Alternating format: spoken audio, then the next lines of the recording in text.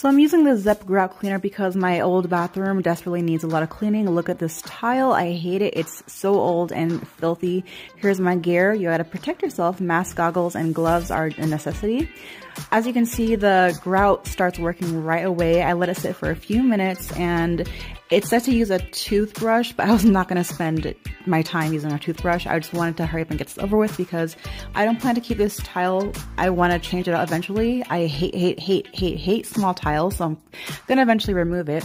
Um, I did it over a second time just to get even more out and it definitely worked, but I decided that it just still didn't still didn't meet my standards, so I decided to paint it over. And I thought this was actually a, uh, I guess, a landlord special, but apparently it's the common thing that people do, and it looks pretty good. So I was actually pretty happy.